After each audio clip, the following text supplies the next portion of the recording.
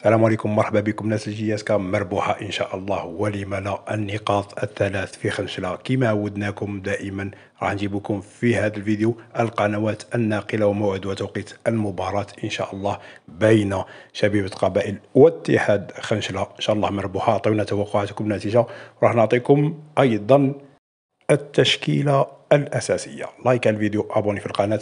مربوحة إن شاء الله يا رب العالمين. المهم المباراة. منقولة في القناة الرابعة؟ هذو من القناتين كاينة قناة أخرى اللي هي على الويب في تلقاوها في اليوتيوب إن شاء الله مربوحة إن شاء الله. أعطيونا توقعاتكم النتيجة راح نعطيكم التشكيلة الأساسية في غياب ميجادال اللي قال لك راه تعرض لحادث مرور وحالته لا تدعو للقلق إن شاء الله ولا داعي للتأهويلات وبومشرة راه مصاب. نتمنى أنه ما نديروش كثرة الكلام.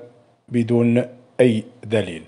في التشكيلة الأساسية عندنا حديد قتال بن زايد بوهكاك سياد وقاسي وخنشوش عليلي مواقي بواليا وقنينة هذه هي التشكيلة الأساسية. بالتوفيق لشبيبة القبائل.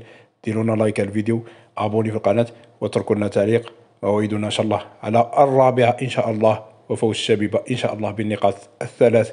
توقعاتكم النتيجة مربوحة إن شاء الله. مع فيديو جديد وأخبار جديدة. سلام خاوتي.